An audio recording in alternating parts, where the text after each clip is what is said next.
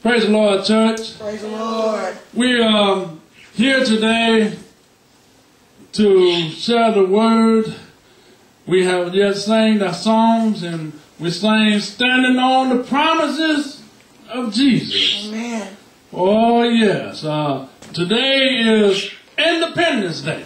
Amen. The 4th of July. All right, and we come to share the word today, and it will be coming from the book of Romans, chapter 12, verses 1 to 3. Amen.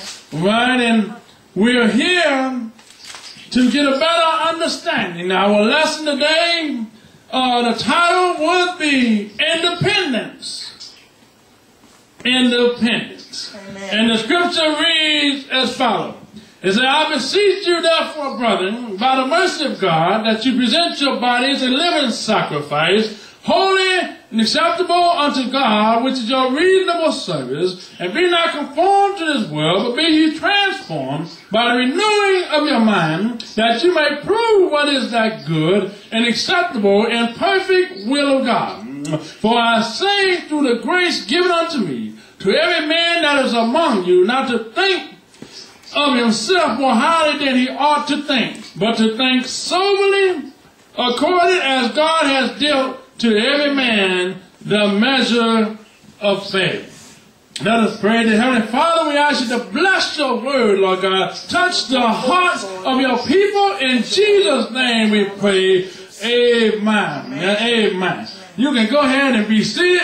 Uh, we today is looking at Independence Day. Uh, and we come today uh, basically together as a people of man, huh? not a people of God. Now we know that uh, America was built on the foundation of God. And if we established different colonies on this day and we actually became a state. Uh, Independence Day was a day that we were set apart. A day that we were set free from all other countries. And we became a country for ourselves. Uh, we got, uh, came a country to be able to worship God in the way that we decide to worship God. Uh, there was a time when Congress uh, used to go uh, and make laws and rules, uh, and they was deacons. They